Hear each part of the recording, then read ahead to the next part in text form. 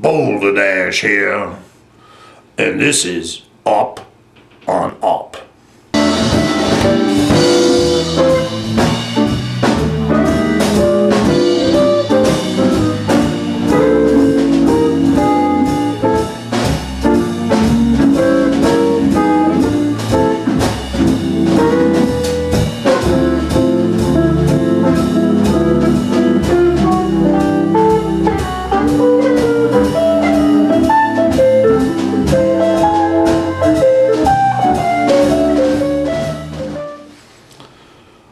Boulder Dash here, and I'm here to tell you we're in a civil war. Civil War number three, so to speak. The first Civil War was fought during the Revolution. We all know it as the Revolution, but it was actually a civil war versus the Whigs versus the Tories. And as we know, the English didn't have a lot of troops here in the colonies. They were fighting some five or six other wars around the globe at the time. So they left it up to the Tories to fight it. And so here we have the revolution fought a brother against brother, American versus American. Then came the Second Civil War, 1865, North versus South. Bloody war, the most bloodiest in our nation's history. Mm-hmm. But this Civil War we're fighting right now, why, it's not North versus South, East versus West.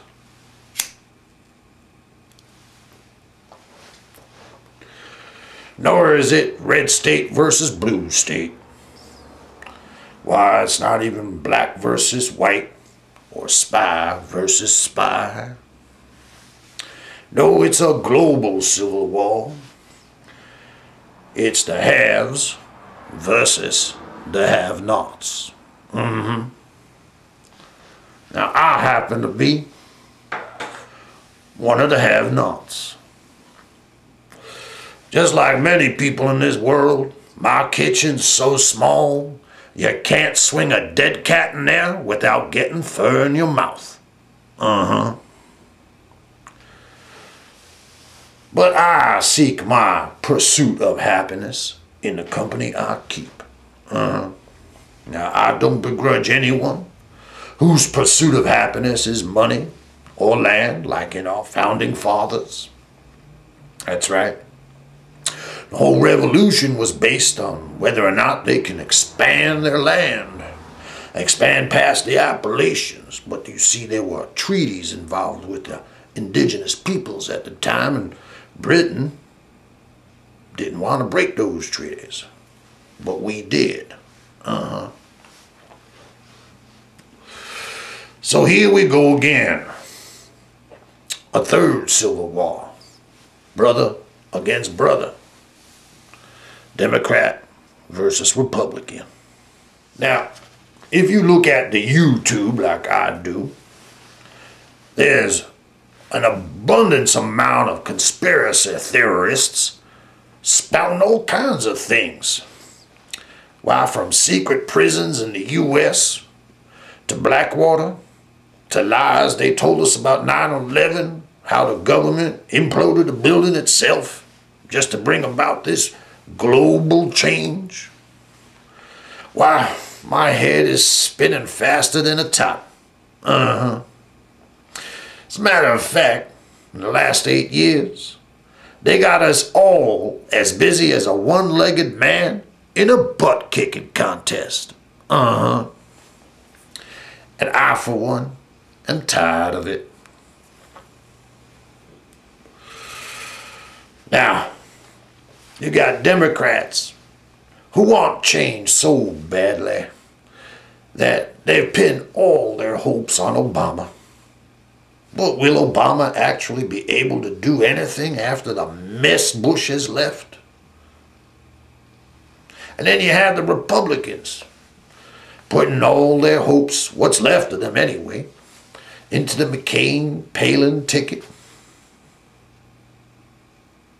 Even the have not Republicans have got their hopes in the Palin ticket. I guess they believe or they hope in the American dream that one day they'll make more than $250,000 a year.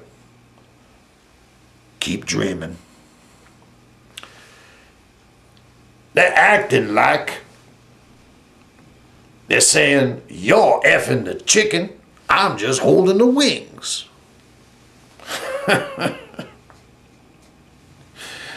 Funny as shit, tell me that, huh? Well, I tell you, this civil war we're fighting now between the haves and the have nots, it's time to wake up, people.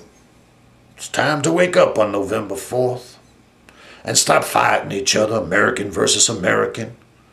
We gotta quit running around like a fart in a bottle. It's time to piss on the fire and call the dogs. Uh huh. But let me ask you something. Would you run through seven fields of broken glass just to slide in her shit? Huh? What's your opinion? I'd like to know. Uh huh.